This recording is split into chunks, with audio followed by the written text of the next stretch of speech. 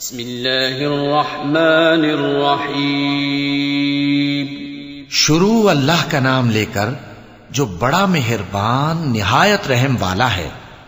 قل أعوذ برب الفلق من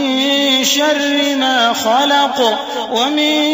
شر غاسق إذا وقب ومن شر النفاثات في العقد ومن شر حاسد اذا حسد. کہو کہ میں صبح کے مالک کی پناہ مانگتا ہوں، ہر چیز کی برائی سے جو اس نے پیدا کی، اور اندھیری رات کی برائی سے جب اس کا اندھیرا چھا جائے، اور گنڈوں پر پڑھ پڑھ کر پھونکنے والیوں کی برائی سے،